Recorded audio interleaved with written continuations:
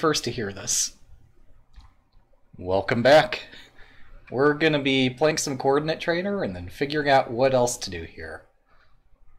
Uh, I noticed there was this post in the Lichess forums saying that if you like adjust the board size, that um, the squares are off. Turns out that at least on my display, uh, just using the default board dimensions, it's all off anyway. Um, how's this actually look on the stream? Ooh, I don't know that I like that. Um, maybe I do try increasing the board size anyway. Whoops, that's not it. It's like geometry, 3D. Oh, that fixed it. Wait, so that means no. Okay, we get derpy coordinates. Okay, derpy coordinates are still here. This is cool. Yeah, no, the, it's not that the pieces don't scale, it's that the squares aren't scaling properly. Um, and just to demonstrate the concept, so you see where all the pieces are, um, they actually vertically align just fine, but horizontally something is off with the squares. Let's do this from White's perspective.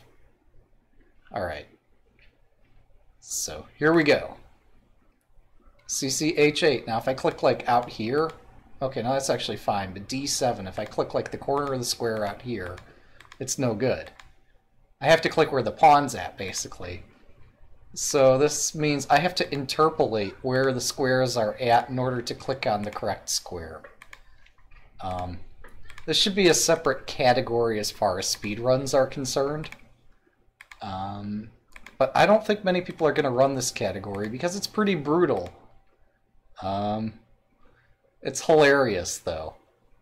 So, the spirit of having fun, um, yeah, e5, b8, h1, b3, h6, g5, f4. At least um, the...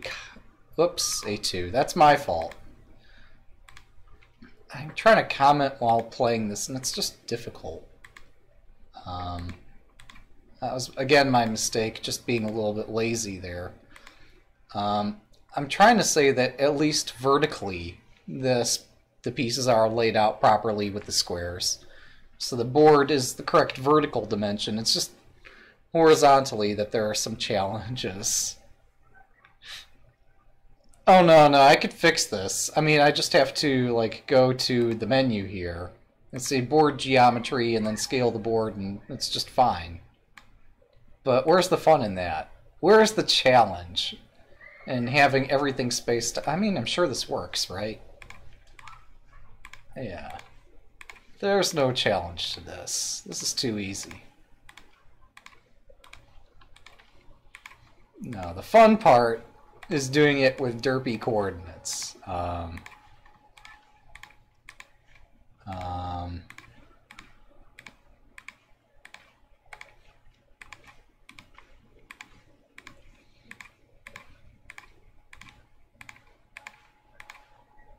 Yeah, that's not so hard.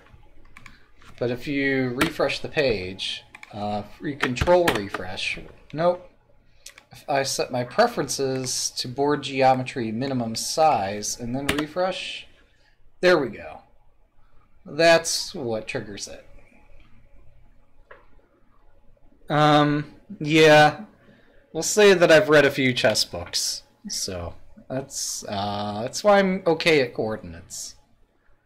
It's still like nothing compared to the 75 that Llama Lord gets, but yeah. Now it looks cut off because it is cut off. Um, I don't know what causes this, but it's hilarious, and so we're sticking with it. D4, C1, A3, F2.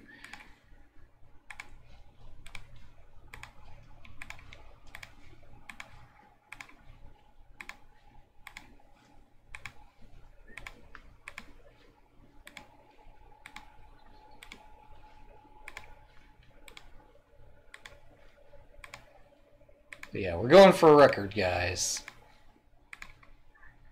I don't know how long um, it'll be possible to participate in this particular category. Um,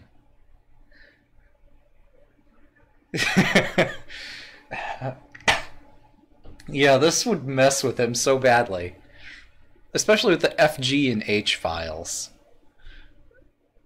Yeah, so we got a record of 30. Um, I'm sure Llama could beat that without much of a problem. It's still hilarious when it says like click on the H file and you just have to like click somewhere toward the edge of the board and click on the G file and you're like, "Oh crap. Where is the G file? I can't like